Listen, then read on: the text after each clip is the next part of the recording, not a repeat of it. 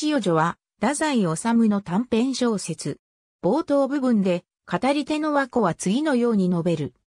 12の時に、柏木のおじさんが、私の綴り方を、青い鳥に投書してくださって、それが一等に当選し、戦者の偉い先生が、恐ろしいくらいに褒めてくださって、それから私は、ダメになりました。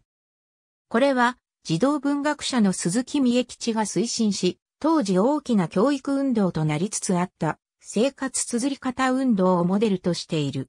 青い鳥は鈴木美恵吉が創刊した児童雑誌赤い鳥を踏まえている。また、和子が女学校4年生の時に綴り方の家庭教師としてやってくる沢田先生の言葉に次のようなものがある。あなたは寺田雅子という天才少女を膣っていますか？あの人は貧しい生まれで勉強したくても本一冊買えなかったほど不自由な気の毒な身の上であった。けれども誠実だけはあった。先生の教営をよく、噛みつた。それゆえ、あれほどの名作を完成できたのです。小学校教師、大木健一郎は、葛飾区本田第一小学校4年の豊田正子の綴り方26編を編纂し、綴り方教室を出版。同書はベストセラーとなり、1938年には映画化もされる。上記、寺田雅子は、豊田雅子を踏まえたものと思われる。沢田先生が去った後、和子は次のように書き記している。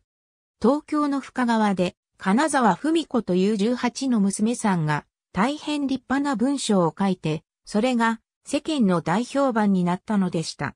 金沢文子は、作家の野沢富子を踏まえたものと思われる。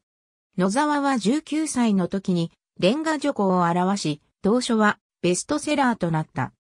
太宰は後に評論、ニョゼガモンにおいて、志賀直哉の暗夜航路を批判する際、どこがうまいのだらう。ただうぬぼれているだけではないか。